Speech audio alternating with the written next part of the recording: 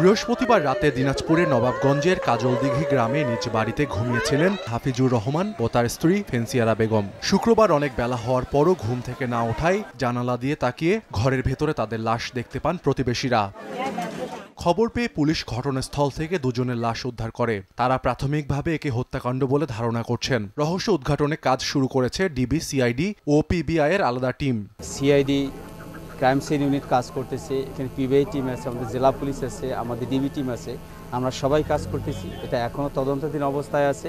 এখন আমরা ডেড বডির সুরতহাল রিপোর্ট তৈরি করতেছি। এটা বিস্তারিত তদন্তের পরে আমরা বলতে পারব কেন এই হত্যাকাণ্ড। একসঙ্গে বাবা মাকে হারিয়ে শোকে পাথর সন্তানরা হত্যাকারীদের চিহ্নিত করে দৃষ্টান্তমূলক শাস্তির দাবি এলাকাবাসীরও। মাওয়াই মা পড়ে আছে হাত দুটা ওনার এভাবে বাঁধা আছে মুখটা দেখা হচ্ছে যাচ্ছে না।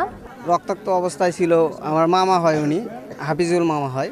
আর মামি হাত বাঁধা আছে এখনও মুখে টেপ লাগা আছে। ওনার সঙ্গে কারও শত্রুতা আমরা জানি না ওনার সঙ্গে কারও। উনি খুব রসিক মানুষ। যারা এটা অন্যায় করছে ভালোভাবে তদন্ত করে যেন সঠিক তার বিচার হয়। তার খুন যারা করেছে আরও খুন তো করতে পারে তাদের বিচার চাই অন্য কিছু না। নিহত হাফিজুর ফেন্সি দম্পতির তিন ছেলে ও চার মেয়ে রয়েছে।